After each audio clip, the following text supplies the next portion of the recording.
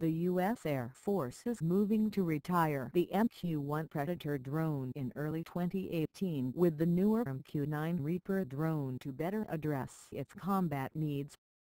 While replacement of the MQ-1 with the MQ-9 has been mulled for some time now, Air Force officials announced that at least one attack squadron will stop flying the MQ-1 as soon as July, with the goal of full service-wide transition by next year.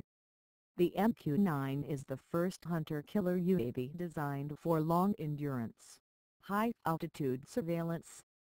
In 2006, the then Chief of Staff of the United States Air Force General T. Michael Moseley said, We've moved from using drones primarily in intelligence, surveillance, and reconnaissance roles before Operation Iraqi Freedom, to a true hunter-killer role with the Reaper. The upgrade to MQ-9 indicates that the U.S. is more and more inclined in using drones for combat role.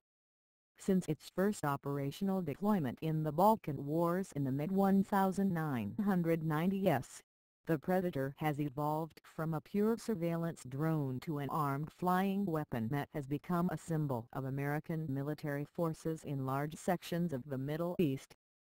The Predator has proven to be a very effective combat UAV, especially given that it was never designed to fire missiles. MQ-1 was designed to gather intelligence on the battlefield.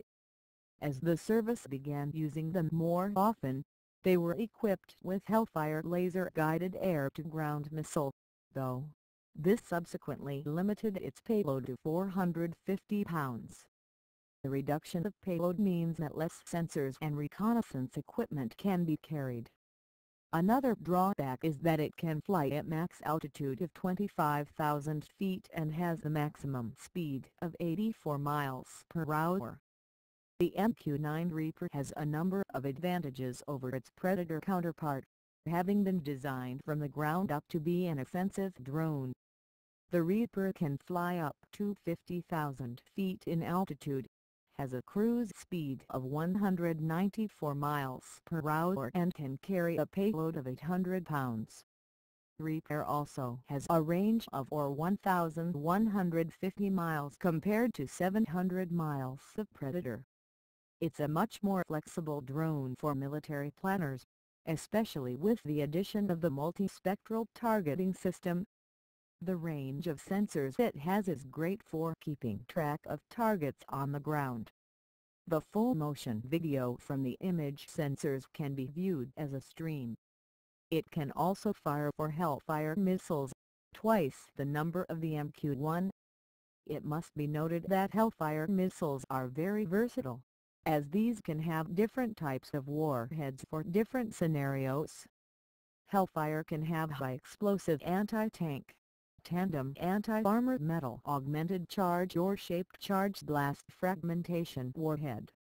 The unit cost of the MQ-1 is around $7 million, while the MQ-9 Reaper costs around $14.75 million cost per hour of Predator flights stands at $3,679, compared to $4,762 for the Reaper. The retirement of the Predator doesn't mean they will be banished from the skies.